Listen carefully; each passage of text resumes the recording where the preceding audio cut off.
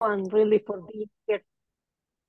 My name is Annalisa Savaresi, and I wear a number of hats, but the most important hat today is that I'm GNHRE Director for Europe, and in this capacity, I'm moderating today's panel. I am really excited to be talking about the right to a clean, healthy, and sustainable environment and the transition, especially at this time, uh, because as you probably know, in the Council of Europe, there is a current campaign for the explicit recognition of the right in the regional system. So we thought there couldn't be a better time to convene a panel to discuss this right, its enforcement and justiciability. And we have a most distinguished panel to carry out this conversation.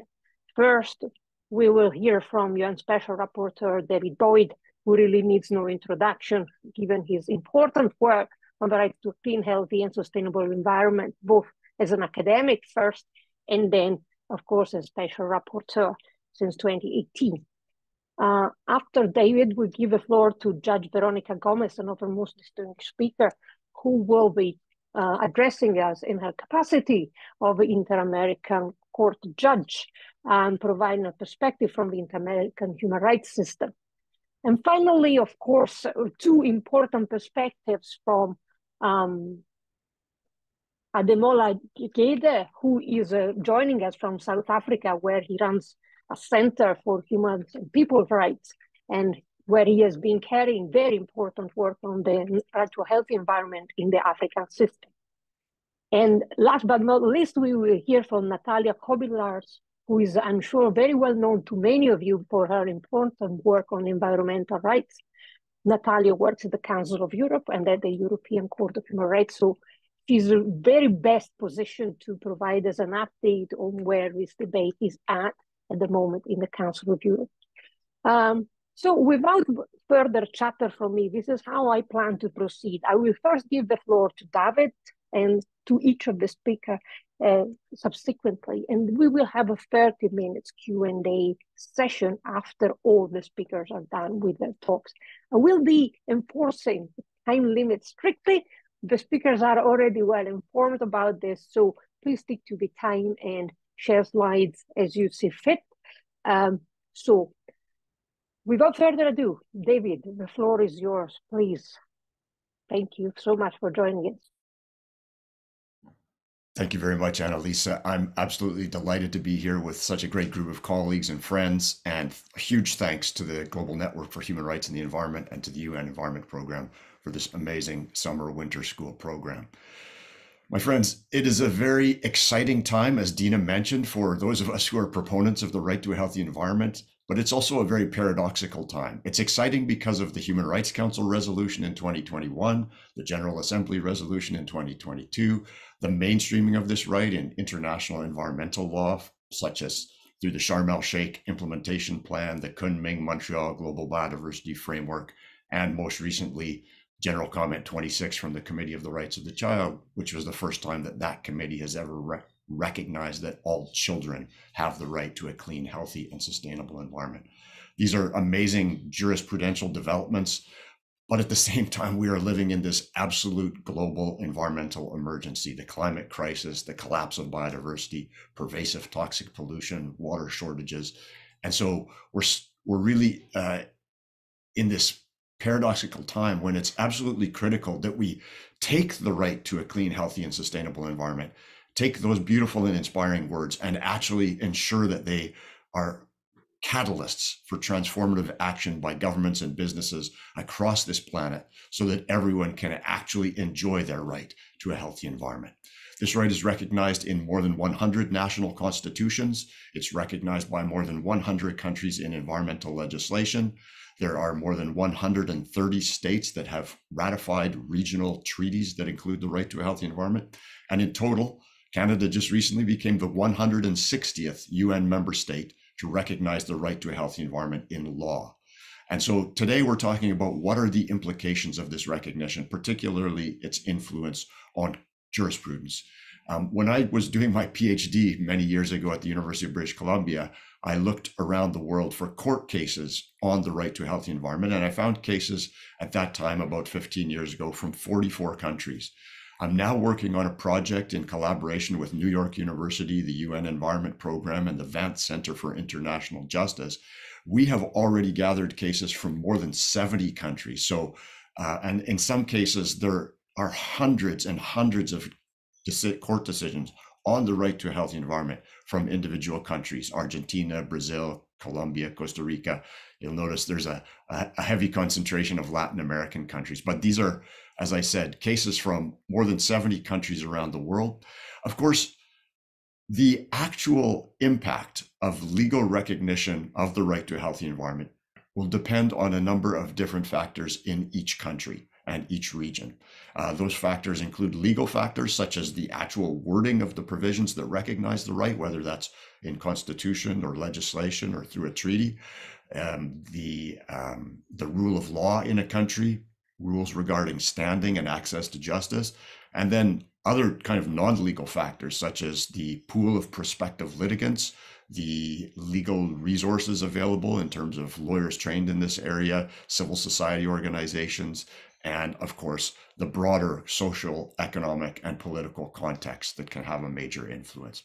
But let's turn to the cases now themselves. Time is short, and I'm going to try and really uh, give you a whirlwind world tour of some of the leading cases on the right to a healthy environment. And what's really uh, encouraging is that there are cases, um, this report that I'll be preparing will uh, divide these cases according to both the substantive and procedural elements of the right to a healthy environment that have been developed by courts and legislatures over the past four decades. So these substantive elements include clean air for people to breathe, safe and sufficient water and access to adequate sanitation, healthy and sustainably produced food, non toxic environments where people can live, work, learn, and play, healthy ecosystems and biodiversity, and a safe climate. And so, in addition to those substantive elements, we have the procedural side where we have access to information, public participation in environmental decision making, and access to justice with effective remedies. And so there are m- more cases than I could possibly describe in an hour long lecture in each of these specific sub areas. So let me just talk about a few of those cases very briefly. Uh, with respect to clean air, we have amazing court decisions from Argentina, from Indonesia, from South Africa, from Colombia, where courts have said very clearly that clean air the right to breathe clean air is an essential element of the right to a healthy environment. And over the course of the past four decades, courts have articulated a number of specific actions that governments must take in order to fulfill their obligations with respect to clean air. And these seven broad categories include monitoring air quality and the impacts on human health, assessing the sources of air quality. So, you know, in different countries, different regions, uh, different sources are the main contributors. Number three, making sure that that information is conveyed to the public and that there are, for example, daily air quality advisories that are accessible to the public. The fourth thing that governments must do is they must develop air quality legislation, regulations, and standards based on the best available science. So, for example, there's a Chilean case that says in setting air quality standards, the government must be guided by the World Health Organization's air quality guidelines. The fifth step in terms of clean air is that governments must develop action plans with the measures that are necessary to achieve the air quality standards. Uh, the sixth step is obviously implementing and enforcing those standards, which may involve additional capacity building requirements. And then seventh uh, is really assessing progress and evaluating whether the actions that are being taken are sufficient to meet the standards and whether the standards are sufficient to protect public health and ecosystems. And I just want to pause there and say that the World Health Organization in 2021 produced updated air quality guidelines. And so far, not to, to the best of my knowledge, not a single state in the world has it has improved their air quality standards to meet those new World Health Organization guidelines. So I expect we'll, we'll, I expect we'll see some litigation around that in the in the coming years. Uh, when we turn to clean water, access to clean water and sufficient uh, sufficient water, we have cases based on the right to a healthy environment where courts have ordered governments to uh, prevent water pollution, to ensure that communities have pri- priority in terms of access to water, and Of course, there is some overlap between the uh, right to water and right to water and rights to water and sanitation and the right to a healthy environment. But at this point, the right to a healthy environment enjoys much more widespread legal recognition. So it's very important that these cases um, in Argentina, a case involving Cordoba, in the Philippines, a case involving Manila Bay. These are landmark decisions where courts have required governments to take specific actions to clean up water bodies and to provide drinking water to their citizens. With respect to healthy and sustainably produced food, we have cases involving uh, the right to a healthy environment being used to challenge the government's approval of neonicotinoid pesticides, these pesticides that are notorious for killing bees. We have uh, governments, we have, sorry, we have courts ordering governments to take steps to address water pollution from agriculture. Uh, we have a decision from the Supreme Court of Mexico, for example, that denied approval for a massive industrial hog uh, or pig operation that would have polluted the uh, water of a Mayan community. And so those cases, there are there are again legions of them. When we turn to the right to a the the substantive element of a non-toxic environment where people can live, work, study, and play, then we have some really amazing and groundbreaking cases. One of my favorite cases is the Mendoza decision um, from Argentina, where the Supreme Court of Argentina in 2008 ordered all three levels of government in Argentina to take a number of specific actions to clean up the watershed of the Matanza Riachuelo River in Buenos Aires, Argentina. That court also uh, used the remedy of continuing mandamus, and work is ongoing. But to this date, uh, the governments co- collectively have spent literally billions of dollars in improving access to safe drinking water, improving wastewater treatment, improving the waste management system, creating a regional public uh, environmental health system, and undoubtedly has improved the quality of lives for millions of people in that region. We also had the decision of a court in Kenya regarding the uh, a very notorious lead smelter, uh, battery recycling, and uh, lead facility um, and that led to a court decision ordering steps to clean up the soil and the water and the air around that facility. The facility has, was also closed down, of course.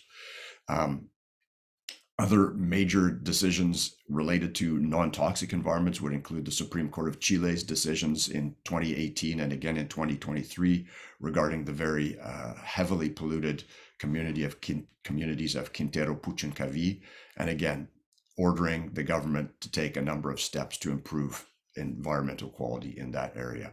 When we turn to healthy ecosystems and biodiversity, I'm delighted to report there's a brand new decision of the Constitutional Chamber of the Supreme Court of Costa Rica um, overturning the government's permission regulations that permitted the fishing of hammerhead sharks. Hammerhead sharks are red listed IUCN species, and based on the constitutional right to a healthy and ecologically balanced environment, the Constitutional Chamber of the Supreme Court of Costa Rica said that's no that is not a permissible to continue fishing for those hammerhead sharks. There are many cases um, cases protecting forests in Ecuador, in the Philippines, in Hungary, where forests have been protected from various harmful activities. Um, there are many cases from around the world where specific endangered species have been protected. And then when we turn to the final substantive category of a safe climate, we have uh, again, and some academics, including Ana, Annalisa and Pau de Vilchez, have done fantastic work, which indicates that lawsuits, which are in part based on the right to a healthy environment, uh, and these are climate change lawsuits, actually have a, a, a, better chance of succeeding. So you have cases like the PSB case in Brazil, which uh, was based on Article 225 of the Brazilian Constitution, finding that the gov- Brazilian government's failure to operationalize the climate fund to take steps to address the climate emergency was a violation of the right to a healthy environment. You have the recent decisions in Hawaii and Mon- Hawaii and Montana, where based on state constitutions that include the right to a healthy environment, in Hawaii, uh, the, the court refused or, or upheld the government's refusal to grant a permit to a biomass power plant in Montana, we had a very recent decision in one of these cases led by youth, uh, where the right to a healthy environment was used to strike down provisions of a Montana law that prevented the government from assessing the climate impacts uh, during permitting processes. So that's just really uh, the tip of the iceberg in terms of the cases that are out there. There, the right to a healthy environment has also been instrumental in ensuring that citizens do have access to information, do have the capacity to participate in environmental decision making. And the right to a healthy environment has been instrumental in opening up the doors of courthouses through um, more liberal interpretations of standing. The final two things I want to touch on very quickly are exciting new developments with respect to the right to a healthy environment. The first is that the courts, particularly in Latin America and led by the Inter American Court, are interpreting the right to a healthy environment, which has been criticized by academics as an anthropocentric right. Courts have been interpreting this right in an ecocentric way. So, for, ex- for example, the Inter American Court uh, I'm, I do not want to steal Veronica's thunder, but the Inter American Court Advisory Opinion 23 17, which talked about the right to a healthy environment as also being protective of forests, rivers, and oceans, that concept has been applied by the Supreme Court of Mexico, the Constitutional Court of Colombia, and now the Constitutional Chamber of the Supreme Court of Costa Rica in cases where those courts have said very clearly that the right to a healthy environment has two fundamental aspects. It protects humans from environmental harms, and it's an autonomous right, so it doesn't rely on any other human rights. And secondly, it protects nature itself because nature has intrinsic value. And I think these cases are particularly important because they overcome the dichotomy between humans and the environment. We are part of nature. Um, and so that's very exciting. And the second exciting development is a growing number of cases where governments have been able to rely on the right to a healthy environment to defend themselves from lawsuits brought by corporate corporations and industry alliances. So these are, for example, challenges to regulations related to plastic bags, challenges related to the creation of protected areas, challenges related to um, restrictions on types of fishing techniques. And so this is really an important development. The court uh, courts using the right to a healthy environment as a shield to protect government actions. And in a global environmental crisis where we need stronger climate actions and stronger environmental actions of every type, we are going to see more of these corporate challenges. And so the ability of courts to rely on the right to a healthy environment as a shield is a super exciting development. Um, my beeper just went off. I'll stop talking. And I'm really looking forward to my other panelists and also to the question and answer session. Thank you very much. Very many thanks, David, especially for keeping to time. Much appreciated. Uh, I already introduced Veronica Gomez before. She's a judge at the Inter-American Court of Human Rights for those of you who joined after I made my introductions. Veronica, the floor is yours. Many thanks for joining us. Thank you very much, Annalise, and um, thank you very much to the organizers uh, of uh, of this course and uh, for having this opportunity to talk to uh, all the people here present with us online. Um, I'm going to share some slides. I, uh, I'm a judge of the Inter-American Court. I work with the Inter-American system. I never take for granted that the institutions of the Inter-American system are known or, or, or understood how how is it that they work so i think it's important to to apply a little bit of uh, of uh, basic knowledge uh, so i'm going to share uh, some slides and i promise it'll be as the least professorial possible so um, what I wanted to offer, and, and, I think this is what this segment is about, is this international law perspective uh, on the issue of um, the recognition of the right to a clean and safe, um, clean environment, and uh, this time from the perspective of the inter-American system. And first, uh, just to clarify that we have two interpreters here. One is the Inter-American Commission on Human Rights, that is based in Washington, D.C. There is a quasi-judicial organ, and the other one is the Inter-American Court of Human Rights, that is an international judicial body based in Costa Rica, and it has a contentious jurisdiction, it has an advisory jurisdiction. And uh, it exercises these jurisdictions in a different way uh, from the European Court of Human Rights and with some uh, similarities with the African um, uh, Human Rights Court, uh, but um, it's a in the case of the advisory opinion is a very very broad jurisdiction, very different from uh, the one in Europe, a bit more similar uh, to uh, what the ICJ does, but it received requests from um, international organs within the inter-American system and also from states on a variety of, of topics. So that clarified.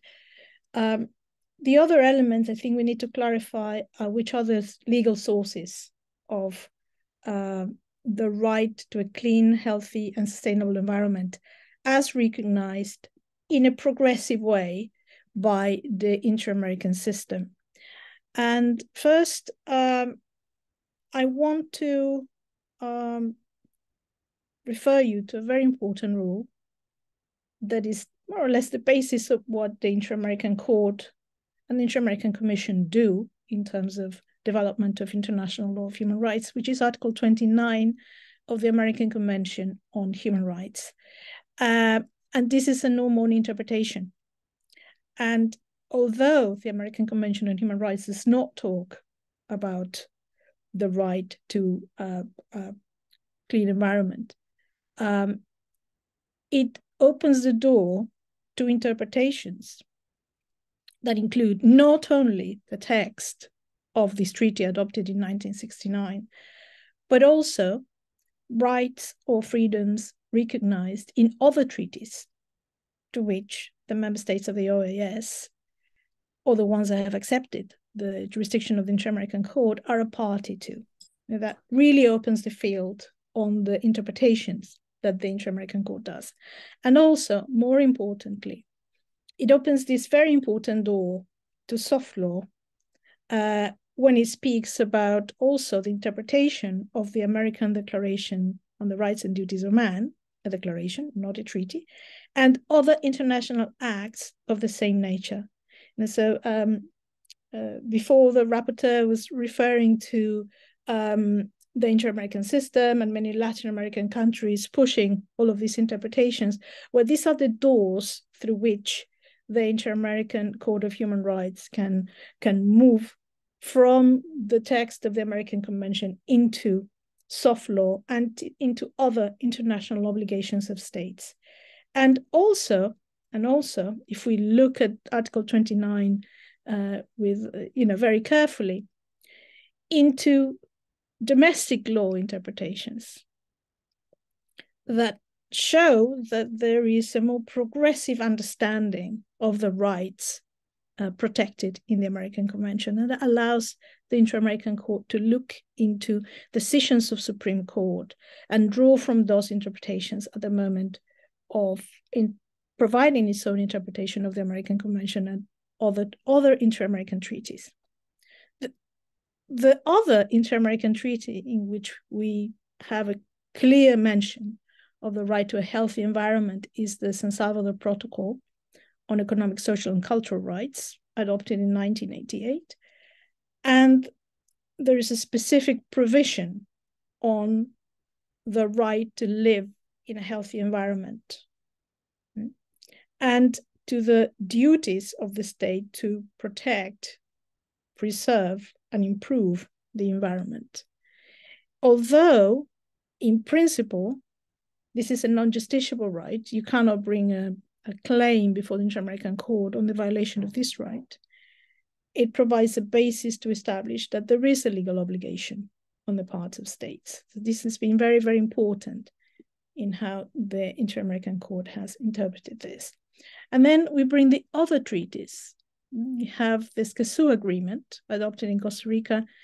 Uh, sorry, it says um, 2028, no, it's, it's uh, 2018, and entered into force in 2021 with, uh, at the moment, 15 ratifications. So we're halfway through uh, more or less the states in, in the continent uh, which is open to ratification that is very clear in terms of objectives on the obligations of states to ensure access to information, to ensure participation in the decision making process when it has an impact on the environment, and also to ensure access to justice. Uh, and also, there's a clear mention of the right not only to, of every person, but also of future generations to live in a healthy environment and to sustainable development. This is a treaty, a human rights treaty, that tries to juggle this false dichotomy, as has been labeled uh, by, by the UN Secretary General, between development and the protection of the environment on the one hand, and also the protection that is due to human rights defenders working for the environment, which have been targeted, uh, which have been the target of attacks, uh, violent attacks. Um, there is a sad statistic in Latin America of murders of environmental defenders. So um, that has been the focus of this treaty access to information, protection of defenders of the environment, um, also opening the door to considering people working uh, for environmental rights as human rights defenders, mm? and acknowledging uh, the rights of future generations to, to a clean environment.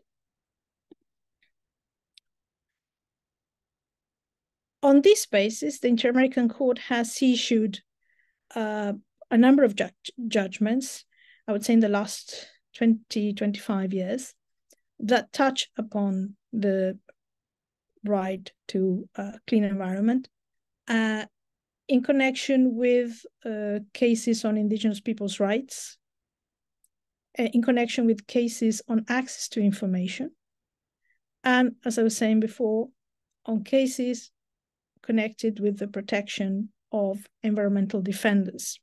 Mm. There are many of these cases here. There's some um, mentioned. Um, the first, the first one, Awas Tingni versus Nicaragua, but then many more: Moiwana versus Suriname, Yakye Axa versus Paraguay, Sawhoyamaxa versus Paraguay, Saramaka versus Suriname, and many more. Uh, more recent ones, for instance, um, Lhaka Honhat involving Argentina. Um, there is also in, in, the in these judgments of the Inter-American Court um, uh, an emphasis on on what does it mean to protect the activities of human rights defenders and which are the obligations of states in this regard. Mm. And as mentioned before, uh, through its advisory jurisdiction, the court has a chance uh, to pronounce on the issue of environment and human rights, advisory opinion 23rd of 2017, um, where there were a number of important definitions in terms of the components of environment, as mentioned before by the rapporteur, mm, including uh, nature itself, forests, rivers, seas, um, and um, the idea that um, this protection should not be afforded because of the connection of these elements with human life, but that they deserve protection on their own right, in the fundamental definition, and also that the right to a healthy environment is an autonomous right independent from the protection of the right to life and personal integrity as um, traditionally included in human rights treaties, mm, and as a right with an individual and a collective dimension. And also an indication of which are the specific obligations of states in, in terms of doing, not doing, giving, due diligence, etc. So a very important document um, that is used by domestic courts. Uh, we have a, a tool in the inter-American system, which is called conventionality control, that encourages courts and also administrative units within states to take the interpretations of the inter-American court in its judgments and in its advisory opinions and apply them at the local level. And uh, this has been, uh, I think, an important parameter for um, for domestic courts. Sorry, here. And these states' obligations include um, a duty of prevention to regulate, supervise, uh, require approved environmental impact studies, etc. The precautionary principle, the obligation to cooperate at the international level, and also a number of procedural obligations in terms of access to information, public participation, and access to justice. That later would also be included in the Escazú Treaty. Hmm? So um, now we're at a very important moment, not only the Inter-American Court, also the ICJ, the Tribunal of the Law of the Sea, also the European Court, I'm sure we're going to listen later, has some also pending cases um, in which the international community has brought again the issue uh, of um, the climate crisis, now on those terms. And the court has received a request for an advisory opinion um, this year. It was presented by Chile and by Colombia um, jointly with the purpose of establishing and clarifying the scope of state obligations in individual and collective dimensions to respond to the climate emergency within the framework of human rights law and uh, taking into account the different sort of impacts uh, that the climate crisis has on persons from different regions of the world and especially sub-regions of our continent um, and also in terms of the impact on nature. Mm.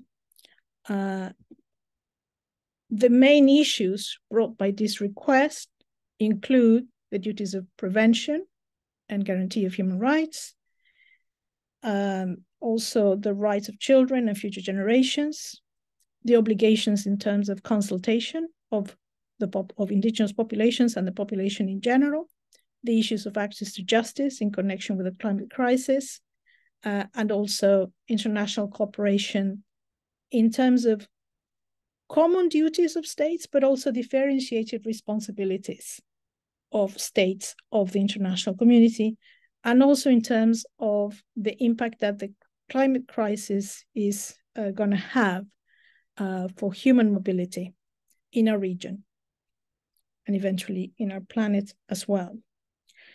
So these are, let me see, a few elements that I wanted to bring to your attention hmm, about the work that has been done in the inter-American system and that is upcoming uh, for uh, 2023 and 2024. The court is still receiving comments in writing. It's extended its deadline to receive comments in writing from um, civil society, states, and uh, will hold public hearings, uh, usually member states of the OAS, all of them, not only the ones that have ratified the American Convention and accepted the court's jurisdiction, like the US and Canada, uh, tend to um, uh, participate also in public hearings, presenting their views, because they understand that um, it's important uh, to have their voices heard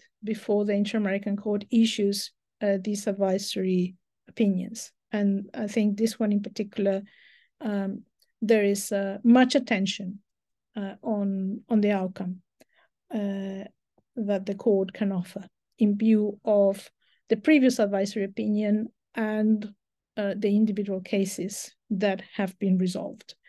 and also in view of the obligations um, um, that states have accepted uh, in light of the Escazú Treaty. So uh, now, if I have one more minute, uh, not anymore as uh, in my capacity of judge of the Inter-American Court. I think I've done my duty in talking about uh, a few of the elements um, provided by the Inter-American system. I just would like to say that um, I think that um, we're at a crucial point in which um, we need to understand the contours of the paradigm of uh, public international law and international law of human rights, and not only the roles of the role of states and state responsibility, the different uh, uh, the contours of responsibility um, and due diligence, but also understand the role of private actors uh, in uh, in this issue, in the issue of the climate crisis, understand the connections with um, with human rights and uh, and corporations. Um, also, uh, understand better the issue of the rights of new generations. And this is an important opportunity because we are confronting an issue that, uh, although it has uh, an impact on certain communities, a heightened impact on certain communities, um, it affects not only all human beings, but different for all the species, all the species that uh, inhabit um, our planet. And I think that will lead us to um, rethink some of the paradigms uh, that we use to uh, apply and understand and interpret international law. Thank you. Thank you. Thank you very much, Veronica. That was a very extremely insightful perspective on the work of Inter-American system in this area. Now, uh, we are running a bit off schedule, so Ademola, the floor is yours. Ademola is joining us from South Africa, the University of Venda. Ademola, are you ready? Are you there? Yes, you are. Thank you.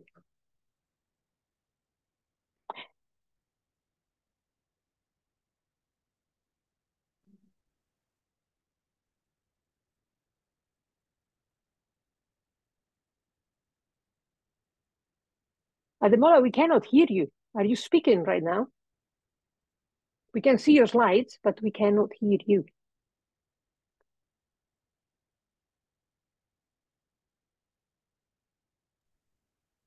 Ademola is uh.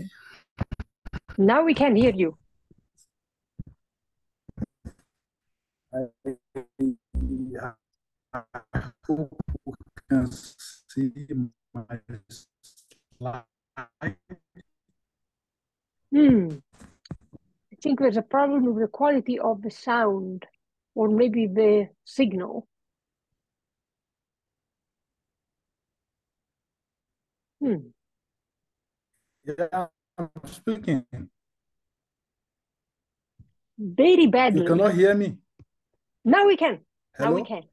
Yes, we can. It's not from my side. So I want to and then he's gone. Well, uh, I think we all know there is power issues in South Africa, so this is probably what is causing the problem here. Um, let's give Ademola a couple of minutes to come back. Otherwise, we may have to go to Natalya. I don't see Ademola. Is he still with us? He is back. Can you hear me? Yes, we can. For now. Hello? Yes. Hi, Ademola, we can hear you.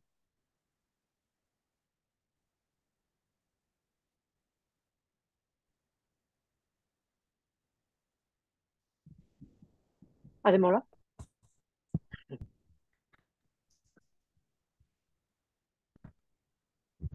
Okay. Yeah. I'm sorry. We cannot I really hear you very well. just want to- Ademola, so we cannot really hear you.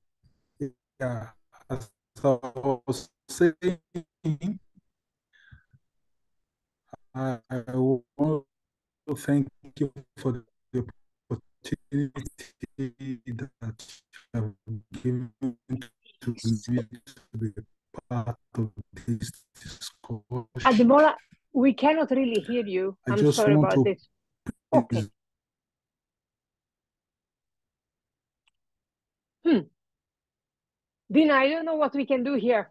Um, I think um, that the power down is affecting his connection. I think what we're going to have to do maybe is go ahead with Natalya, and if Ademola can't um, join us after that, what I'm going to suggest is that he records a video for us um, that we will make available on the GNH website along with this recording. many thanks. That sounds like a helpful way forward. I'm so sorry, Ademola. Um, it's really not possible to hear what you're saying. So, with apologies again to Ademola uh, for this unexpected um, technical issue. Natalya Kobylarz is uh, kindly and patiently waiting for her turn here. Uh, Natalya, as I already said, works at the Council of Europe and the European Court of Human Rights, so is ideally positioned to tell us about developments on the right to a healthy environment there. Natalya, please, the floor is yours. Many thanks for joining us. Thank you very much. Hello, everyone. Thank you for the invitation. I'm patiently work, waiting because I am very interested uh, and I, I was listening to the other presentations with great interest. I work um, at the European Court of Human Rights. I am the lawyer at the registry there, and uh, I was also seconded to the Inter-American Court. Um, I teach uh, international human rights, so I have some knowledge uh, about the inter about the African system as well. Although I was very much looking forward to listening to Ademola's presentation as well. So being the last, I designed my presentation to also show you the differences between the three systems and to really explain what's happening now at the Council of Europe and at the European Court of Human Rights.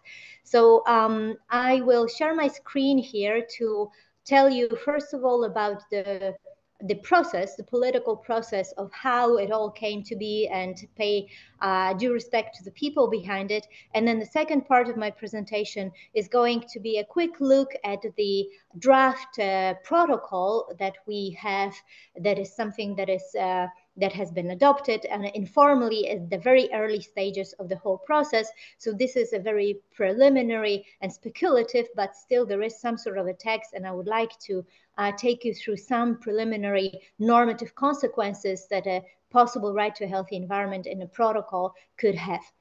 So let's start with the basics. Um, the European system of human rights protection, which is now concerned with the possible addition of the right to a healthy environment, consists of two um, sources and two bodies that implement these sources. So first of all, we have the European Court of Human Rights, uh, which implements the European Convention on Human Rights. And differently to the inter-American system and even more differently to the inter to the African system, sorry, we're only basing ourselves on the European Convention on Human Rights and the additional protocols that have been adopted since the 1950s, so since the moment when the uh, the whole system started uh, operating. Um, and the European Convention on Human Rights is the uh, the the foundation then that's the source of the rights. And then when it comes to the interpretation of these rights so not really adding new rights but interpreting delineating the content of the existing rights the court will obviously look at the other sources of international law whether it's hard law or soft law as well but it's only as a source of inspiration and in interpretation in line with the fundamental principle of the system, which is that of, uh, of dynamic and harmonious interpretation of the European Convention and its protocols with the international corpus juris. So here we have the European Court of Human Rights. We no longer have the Commission, like in the other two regional systems, and the court hears individual and interstate complaints. What is required for the courts to examine the case on the merits is a direct victim. So there is no actio popularis. You need to be personally affected by a human rights harm that you are alleging. The uh, good thing about the system, and this is also another difference with the, uh, the other regional systems, is that the jurisdiction of the European Court is compulsory for all the members of the Council of Europe. We currently have 46 members. Russia, you may remember, was removed from as a member state. Um, of the Council of Europe. So we now uh, we no longer um, examine cases that are coming after the date when Russia ceased to be the member. Um, the court issues binding judgments. There is a whole system of implementation of the uh, of the judgments. Another difference with the Inter-American Court, for example, is that it is not the court that supervises the implementation of the judgments, but as by a separate organ of the Council of Europe, which is called the Committee of Ministers. You will hear this name later on uh, in my presentation. The court can also uh, issue binding interim measures. However, these have never been used in any case with environmental element. And then across the street from the court in the same city of Strasbourg, we have the European Committee of Social Rights, which implements uh, and monitors the implementation of the European Social Charter. So the European Social Charter, as the name indicates, is more concerned with those uh, social rights, uh, economic rights, if you wish, not cultural rights. So we cannot really have a division between first generation and second generation of rights. But yes, it's true to say that the European Convention on Human Rights is concerned with civil and political rights only uh, right to property as well that can be uh, can be also uh, categorized as such. And the European Social Charter is concerned with those rights that pertain to working conditions, to to those uh, employment issues, and also uh, you will see in a moment how it relates to the right to a healthy environment. Here we have a system of collective complaints among other possibilities. There is actio popularis in this system, meaning that uh, certain NGOs and trade unions, for example, they can bring cases, and those have to be uh, addressing a general issue. So no, indi- no, no direct personal individual victims are uh, coming um, before this this organ. The procedure, however, is optional, and uh, especially um, uh, the, this procedure is optional and the, there is only a scarce number of ratifications, 12 currently. The committee issues non-binding decision. It can also issue interim measures. So you see the difference of the power, if you wish, and the teeth that are attached to the, to the two systems. Now, what about the right to a healthy environment? The European Convention on Human Rights or its protocols does not contain any right to a healthy environment or anything that would be similar to it. It contains a right to life, it contains the right to respect for private and family life and for home, and many other rights, and especially that right to respect for private life and for home, it's Article 8 of the European Convention, has been used uh, in many, many cases, countless cases, uh, with uh, those environmental elements. Overall, the court and earlier the Commission have ruled in over 300 cases, which more, more or less directly concern environmental issues.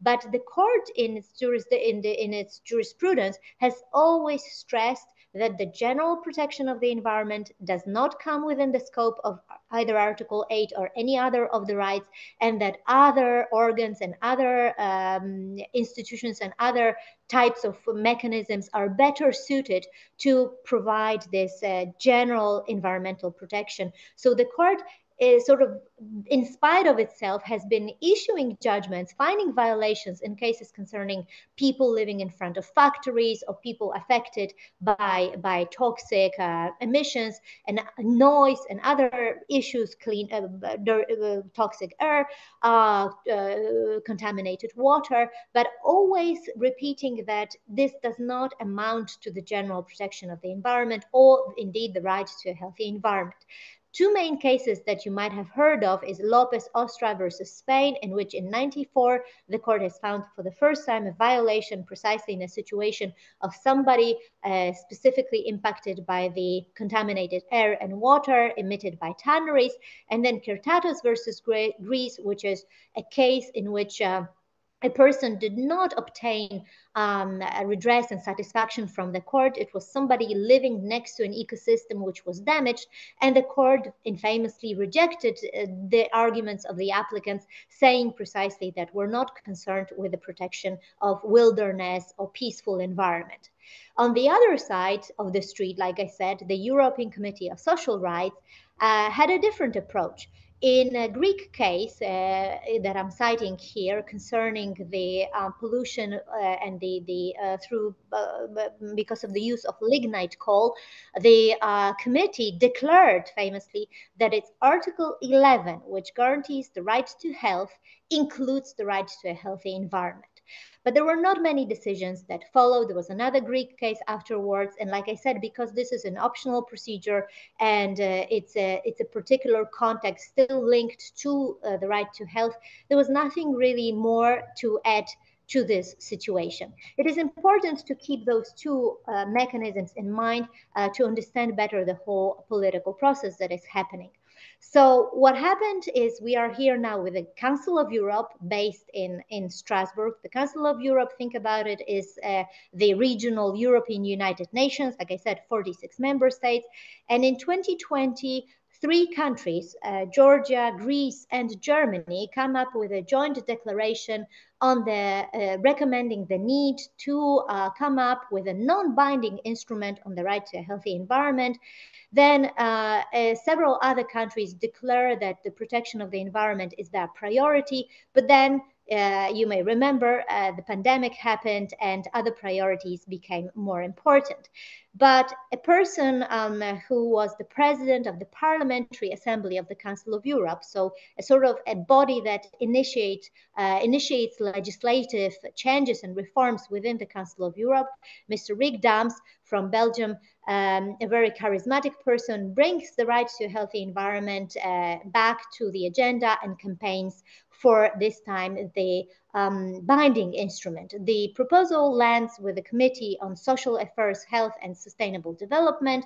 Rik Daems is joined by Simon Moutquin, also a, um, a politician for, from Belgium. He's in charge of writing a report, and indeed, he, he submits a report anchoring the right to a healthy environment, the need for enhanced action by the Council of Europe, in which in September of 2021, so before the General Assembly's resolution. Um, there is a resolution that is adopted and a recommendation, which both um, contain the recommendation of uh, of um, uh, of a bind of of uh, bringing the right to a healthy environment into this European system. The campaign was called Environment Right Now, and the date of 29th September is important not only because of that report and those resolutions concerning the anchoring of the right to a healthy environment, but as you can see here, on that date, there was a several, a series of different reports that were adopted concerning climate and migration, um, addressing issues of criminal and civil liability in the context of, of climate change, procedural rights, and uh, various aspects of environmental protection. So let's have a quick look at this recommendation uh, that comes from the Parliamentary Assembly under the slogan of Environment Right Now. Essentially, this is a proposal to either adopt an additional protocol to the European Convention on Human Rights, so a source of, of law for the European Court, or additional protocol to the Social Charter, so a new source of law for the European Committee of Social Rights, or a convention on environmental threats and technological hazards, so sort of an, an overcompassing convention. Um, and so it's not uh, exclusive. It can be all of these instruments can be adopted or only one of these instruments. So the two first instruments, the protocols would, would have binding force, whereas the convention would be something to which the member states of the Council of Europe would be free to adhere uh, and there wouldn't necessarily be, it wouldn't be attached to the existing mechanisms. However, the convention could create a new mechanism. Now, the process continues and it goes to the Committee of Ministers. Remember, I mentioned that name. So, this is a body that continues, that has to validate the proposals of the Parliamentary Assembly in order for them to really become the law. So, this whole campaign of anchoring the right lands now with a steering committee for human rights. And you can see here in the right hand column the whole list of meetings. So, the committee has been really busy. And last year they held a a consultation with uh, different experts. You can see the name of uh, Professor John Knox, the previous uh, special rapporteur um, for, for human rights and, and the environment former judge of the of the uh, European Court of Human Rights, professors, politicians. There was another conference earlier this year where also representatives of youth, NGOs, coalition of NGOs has a seat uh, during the the the, um, the the consultations and the deliberations on the on the report, and they vote. Um, it's the Committee of Ministers uh, last year. They replied to the recommendation of the Parliamentary Assembly. They pick up uh, this work and they issue the recommendation on human rights and the protection of the environment. Notice the change of the title. So, from the anchoring the right to a healthy environment, it's more general and more ambiguous human rights and the protection of environment. So, basically, the recommendation now of the Committee of Ministers dilutes a little bit the force of the language that was uh, within the in the um, uh, parliamentary assemblies uh, texts. And it uh, recommends to the governments of member states to reflect on the nature to actively consider recognition of the right to a healthy environment in their domestic systems to review the national legislation. However the ongoing work is really now on the feasibility and necessity report of the of having the adoption of the right to a healthy environment into the system. And if you consult the website of the Steering Committee for Human Rights and uh, this if you Google up CDDH and environment, it will take you to the draft, which is now the sixth uh, version of the draft.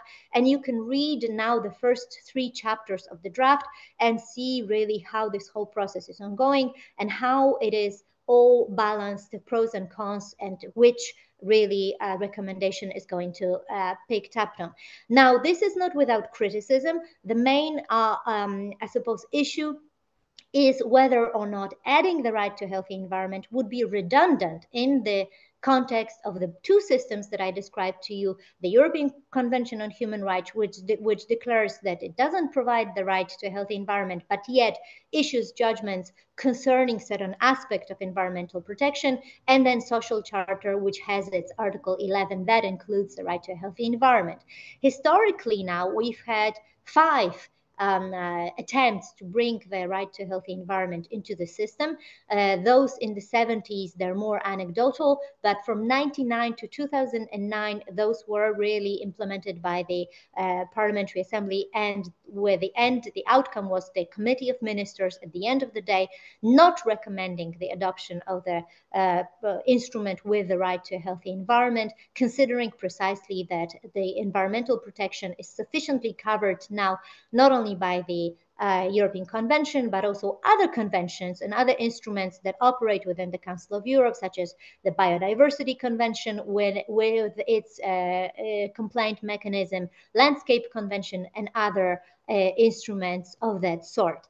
But now this is not the end of the story because um, in uh, May of this year, there was a uh, heads of state and government summit of the Council of Europe. This is something that does not happen very often. And the the outcome of that summit in Reykjavik was a declaration in which, in its annex uh, number four or five, if I remember, so the last annex, the uh, member states do commit to strengthening of the work of the Council of Europe in the sphere of the environment. But if you look at point two here, again, reflect on the nature, content, and implications of the right to a healthy environment. So there was no, it's not the same language as that that came from the United Nations Human Rights Council or General Assembly. Here, it's more reflect on the nature, possibly implement, encourage the state to uh, to consider that right. So we'll see what happens really with this. The the, the latest, then the, the next meeting is really in two weeks. Um, and this uh, draft report will be uh, continued. So we'll see what comes out of that. But let's have a look now uh, before I finish really at the content of the recommendation from the Parliamentary Assembly. Like I said, this was something that was officially adopted, but this is not a document that is strictly speaking binding for now the Committee of Ministers. Still, it gives us some sort of an idea and framework of reference. So in the appendix to the recommendation, there was a proposed text and attention of additional protocol to the European Convention. So the focus is seemed to be on that instrument. And you can see here that there is a definition, the right to a safe, clean, healthy, and sustainable environment. The adjective safe has been dropped in the meantime, so you will not see it in the report. And then the sort of explanation, the definition that it means to live in a non-degraded, viable, and decent environment that is conducive uh, to health, development, and well-being. And notice that the right is described as that of future, of current and future generations. Then we have um, the uh, principles of transgeneration, transgenerational responsibility, equity, solidarity, precaution, non-regression, even in dubio pro natura, which are a framework uh, that uh, that um, uh, governs the extraction of natural resources and management of, of these resources. Uh, then uh, what is interesting to point out is uh, that in other paragraphs of that annex, we have provisions that uh, render that that present the right as not an absolute right. So the right that is similar to many other rights that exist in the european convention currently. So restrictions are possible but they have to be lawful they have to be necessary in a democratic society in pursuit of a particular general legitimate aim. What is so this is similar to many articles like i said. What is different is in article uh, 8 here and 9 that you see below uh, the text actually envisages that there is no derogation from the right to a healthy environment, which is something that goes much further than the other rights. The Article 8, the right to, to respect for private life and family life and for home that I mentioned earlier, that is the most commonly used to address environmental aspects, uh, is derogable. So, uh, in times of emergency, in times of war, states can derogate from from uh, the implementation of their right. What is interesting, and this is sort of in line in continuity to what David Boyd said, and also uh, Judge Gomez from the Inter-American Court, is that clearly the proposal, uh, the appendix, but also the resolution and the preamble of the of the relevant texts, they indicate that th that shift, that famous paradigm shift that uh, that is occurring.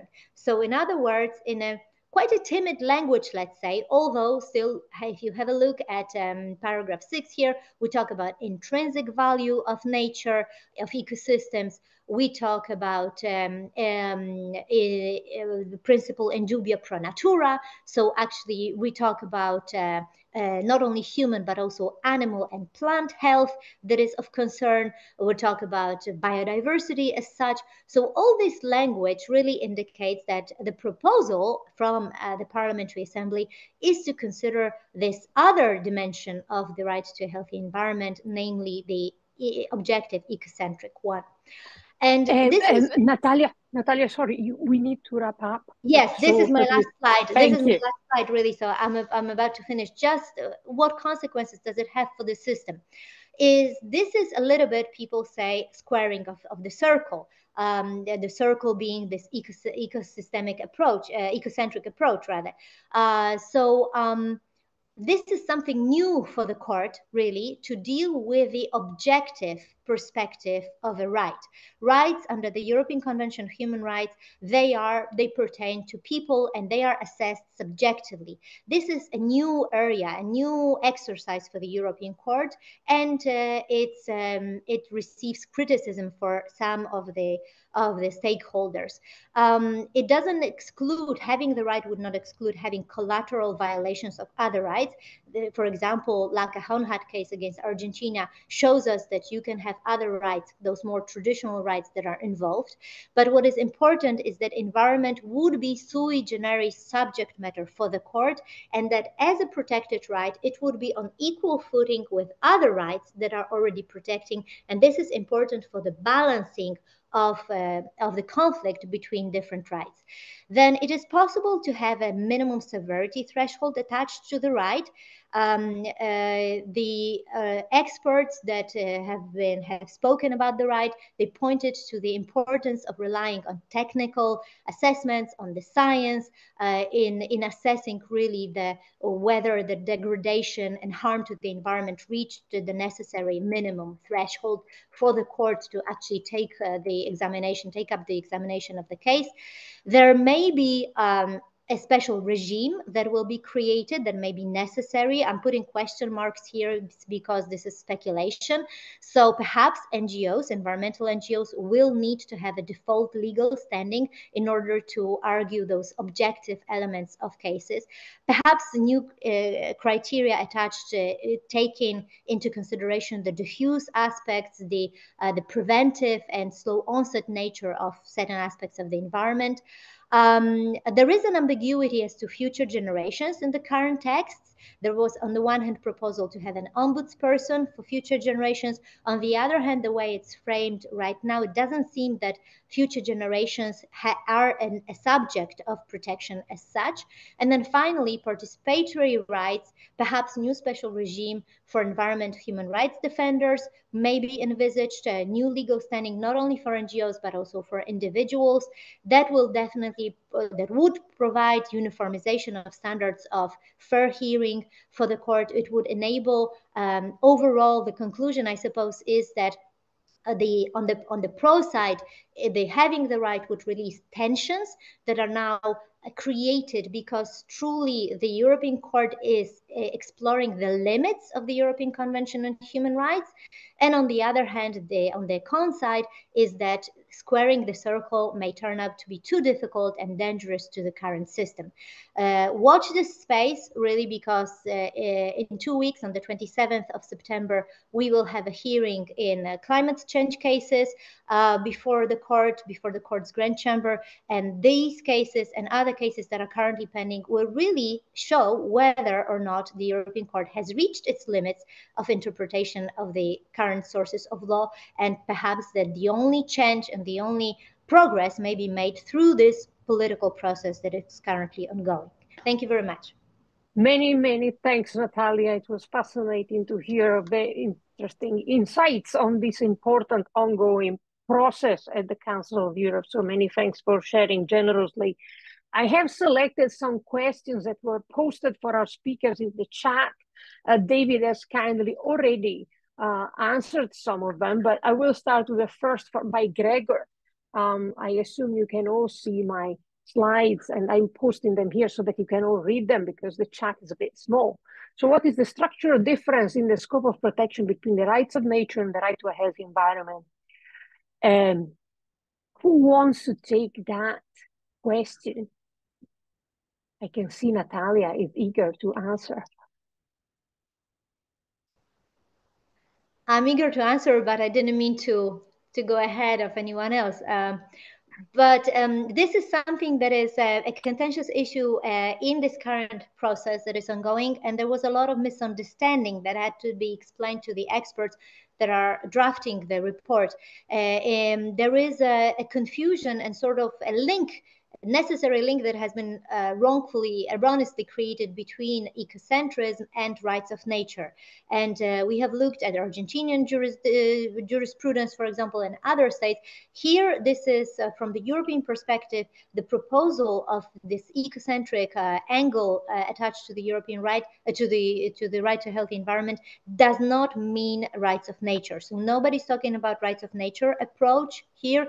Animals have not been marked or flagged as the subjects of rights. They will be object of a right because obviously they make part of, they are part, an element of the environment. But um, rights of nature approach is not something that in Europe is well understood or well well uh, received.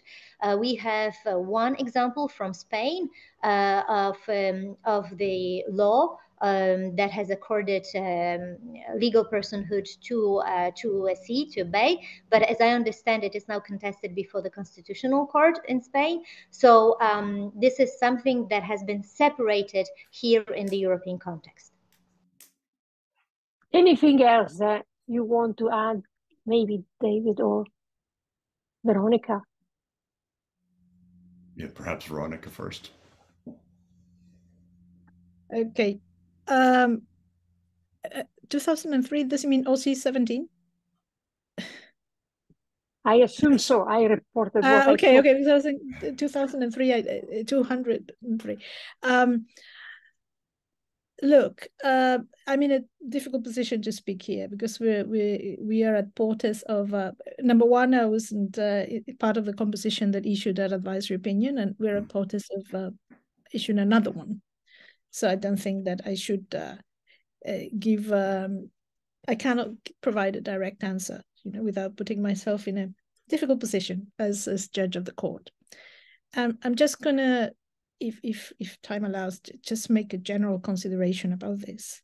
And I'm sorry that I'm moving away from um, sort of um, strictly, um, uh, let's say, um, strict reading of of texts of um, international obligations, but just going to the object and purpose and the historical contexts of those obligations. Um, so, because the law, after all, is just a tool, and so we need to see the big picture. So, I'm removing myself from the legal interpretation of the instruments, and I'm trying to turn into a historian and say that uh, when you see all of these interpretations coming from Latin America, from the Americans in general, because I'm sure that David, as a Canadian, feels with me. Uh, we live in the in the continent um, of uh, extraction. It's been the case since the continent was discovered by um, by Europeans, you know, in the 15th by the end of the 15th century. So it's been a process of extraction from that very moment mm, with the use of different technologies. So we've been marked by that, that produced genocides. Lots of indigenous people died. Some of our species were um, exported, like the potatoes and tomatoes that you eat in Europe that come from what today is Peru. Uh, and also metals. And now we, it's also the region that has the most drinkable water, you know. So now we're also um, facing that prospect in the future. So um, we are confronted, we've been confronted with these issues for centuries. So this, is, and this is very, very close to uh, then our legal conflicts, our political conflicts, our cultural conflicts. It's something we, it's very, very important to understand. Hmm? And uh, more and more, also, something that I didn't mention, uh, we need to use science also uh, as a cornerstone of trust in the reading of the law and the understanding the law. And we understand more and more the relationship between the health of the soil, the health of the bodies of water, and the health of the air we breathe. So here their issues are much bigger than what was written 50 years ago, 40 years ago in a piece of paper. Uh, and um, I think it's very important to, I'm not talking about the interpretation of the coming advisory opinion, but to read our obligations in context of what is at stake here and what is the very limited role of the law and of strict readings of the law in light of what we know now with science, you know, as a reference, and the long view of history. Sorry about the very enigmatic answer. Well, that was such a super interesting answer, and I'll I'll I'll have I'll go back to the legal side of things in response to Gregor's question because we have 160 countries where we have the right to a healthy environment recognized in law. So we have a huge body of legislation and jurisprudence with which we can answer your question on the right to a healthy environment side. With respect to the rights of nature, although this is an ancient idea from indigenous legal systems and indigenous cultures, the reality is it's only recognized at the national level in about a dozen countries around the world, and there are far, far fewer court decisions interpreting those legal provisions. And so it's very difficult to answer that question in a, in a constructive way because the, the rights of nature body of jurisprudence is much less developed than the right to a healthy environment jurisprudence, if that's if that's any assistance. Many thanks, everyone. Uh, and I can see Ademola is now back with us. So I thought I'd give him the floor. Apologies again, Ademola, for the connectivity issue. Can you hear us now? Are you able to speak with us? I can hear you. Can you hear me? Yes, we can. Yeah, thanks so much for the, thanks for allowing me. I'm going to shorten because I know we are not doing good for time. I just want to share some perspectives in relation to the African human rights system you know, when it comes to Africa, Africa is never lacking when it comes to normative standard. The problem has always been something else. So we have instruments that speaks to environment. We have a lot of them at the African regional level. We have the African Charter, the protocol to the African Charter on Human and People's Rights on the rights of women in Africa, which is otherwise called Maputo Protocol. There is also the Kampala Convention, which specifically deals with the situation of internally displaced persons. Then we have the revised African Convention on the, on the conservation of nature and natural resources.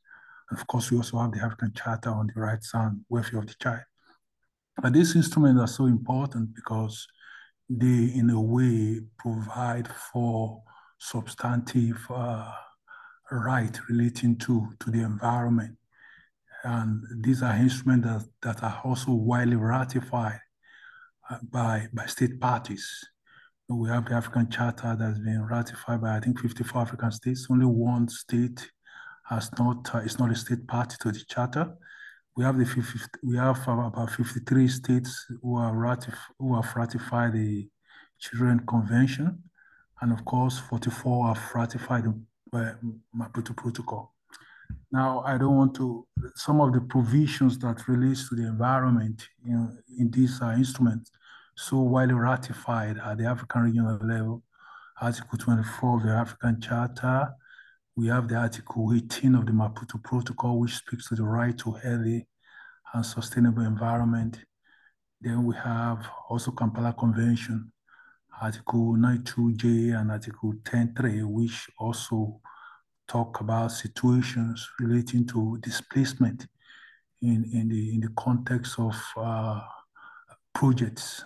And in so, in making such provisions, it does make reference to environmental induced uh, displacement. Now, we also at the African regional level has uh, the Conservation Pro Convention, which extensively makes provision for procedural rights. It's, it's like, uh, like the Aarhus Convention that is applicable in Europe. So we have these provisions within the Conservation Convention, which provides for procedural rights such as the access to information, public participation, need for environmental impact assessment, access to justice, among other procedural rights at the regional level. Now, I then the of course the Charter Two relating to the children have specific provisions uh, uh, relating to the environment. Now, there is no it's not clearly stated there, but then the preamble of the Children Charter does say that the African Human Rights, the African Human and People's Rights Charter applies, and because it applies, one can see directly that every child also has a right to healthy environment at least at that continental level, based on the provision of the African Charter. Of course, Article 11.2G, which also talks about uh, the, the education of a child in the context of respect for environment. So I just want to, because we're not doing well for time, these are the, I would have really loved to take us through the procedures and how to access, you know, all the complaint mechanism that we have at that level, but time will not permit me. But just to say that the, for the, for the commission, it has its procedure, then the court also has direct and indirect way of accessing it. Now, uh, let me just talk about the jurisprudence which has emerged from the from the continental level. Uh, now, there's no way we can talk about jurisprudence at that level without making reference to the Ogoniland case. And uh, you know, Ogoniland case is a case involving the uh, depreciation of the environment carried out by the you know uh, non-state actors, particularly you know Chevron, in, in complicit with the state uh, uh, state uh, petroleum uh, corporations, that activities there had really led to dilapidation of the environment in the Niger Delta in, in, in the state of Nigeria. So the commission had an opportunity to look at this case and did come up with uh, some uh, conclusion in relation to what is happening there. In that case, uh, in finding that Article 24 of the charter was has been violated, the court uh, make reference to the need, importance of you know safe environment within the context of Africa, and of course the need to ensure that you know that uh, government takes adequate steps to ensure that uh, uh, environment, right to healthy environment is guaranteed, particularly for the people in Ogoniland. Now we also have other uh, development within the sub-regional level. And this sub-regional development are so crucial because there are certain provisions within the uh, within the AU level which allows for you know interchange and interreferences in terms of you know uh, drawing inspiration from one another. Article 61 allows the uh, allows the commission to do that.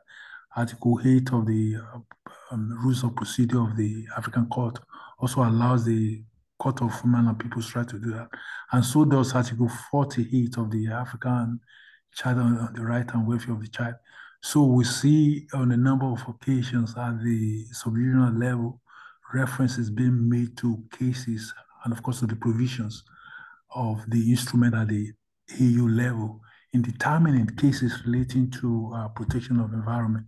Examples of these are REPLIT, and of course, Nigeria features a lot, even in in, uh, in, in, those contexts, like we have with the uh, case decided by ECOWAS, SERAP versus Nigeria, which again, the court used to draw the attention of uh, government on the need to respect the rights of, to the environment of the of the Niger Delta uh, people who occupy the uh, uh south South State South, South, South southern part of Nigeria.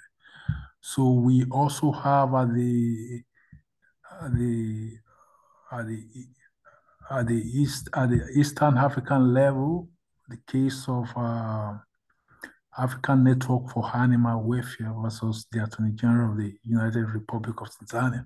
So we see in this case too that you know that the case also feature uh, issues relating to uh, the environment within the context of development. See the court coming uh, up with the, with, with the finding that the failure of states to take measures to, to ensure that the environment is protected in its pursuit of development is a violation of you know uh, provision relating to right to healthy environment. So th those are some of the development there, and we also have uh, um, the commission as well as the court recognizing the right to healthy environment in an indirect way, particularly in a number of cases. One of them is an intercommunication between the state of DRC uh, against uh, Burundi, Rwanda, and Ghana in relation to the activities of the military personnel of those countries in DRC. So uh, uh, issues of environment feature prominently in that case, and the court uh, did not hesitate to find a violation of uh, articles particularly relating to right to development. That case did not specifically deal to the environment, but but indirectly it implicates the, the commission took into consideration circumstances around environment to come up with this finding. And we have similar approach followed in the case, in the Endorois case as well as the Ogiek case. Now implementation, the, the, talking about implementation, all these uh, complete mechanisms are put in place certain uh, rules to allow for implementation. Look at Article, Article 1 of the African Charter particularly, you know, talks about uh, the need for member states to ensure that, you know, uh, they, they, they comply with the, they, they take measures to fulfill the freedom guaranteed in the, in the African Charter. And a similar obligation is also imposed in Article 1.1. So these are, uh, uh, these are instruments which fund or which support the, the idea of enforcement of you know whatever decisions that these complaint mechanisms are, are come up with. And this has been followed by the rules of procedure. Rule 2125, for instance, talks about enforcement and compliance uh, with the decisions of the commission. And so does the uh, so does the African Committee of Experts on Right, of, right and Welfare of the Child in terms of the rules governing its operation, which are which are does recognize the role for a working group, for instance, to ensure that is the implementation of the decision of that body. But despite all this provision, one can say in a way that you know states have not been always enthusiastic about implementing you know this body's decision. There are there in Ogonila Ogonike's decision, for instance, is it's been more than two decades since uh, uh, the decision was given. But you know, in terms of compliance, it has not been so impressive. There have been little steps here and there taken by government to ensure some compliance with some aspects of the decision. But but all in all, one cannot say there is complete uh, compliance with those decisions. So uh, that is all I have to say because of the time. So thank you for the opportunity. Thank you. Thank you, Demola, for joining us. And indeed, apologies again for the te technical issues you have experienced. I am sure that everybody would be very grateful if we could benefit from viewing the slide deck that you had to present so quickly. If you make it available, I'm sure we find a way to make it uh, available together with the recording of this session. Some of you have asked, is this session recorded? It was. So it will be available on the GNHRE webpage. There were many more questions in the chat, but I am mindful of time because our speakers have been so generous and I know they probably have to be elsewhere. So uh, I think that uh, those of you whose questions we did not manage to answer, especially Diana, who asked an important question on environmental defenders in Europe, please feel free to approach me, approach our colleagues, and we are very happy to answer your questions. But I think for now, what I'll do is thank very much our speakers, and especially Ademola for being so patient. Thank you so much for being with us in this session. And I look forward to the next. Thank you so much for joining us.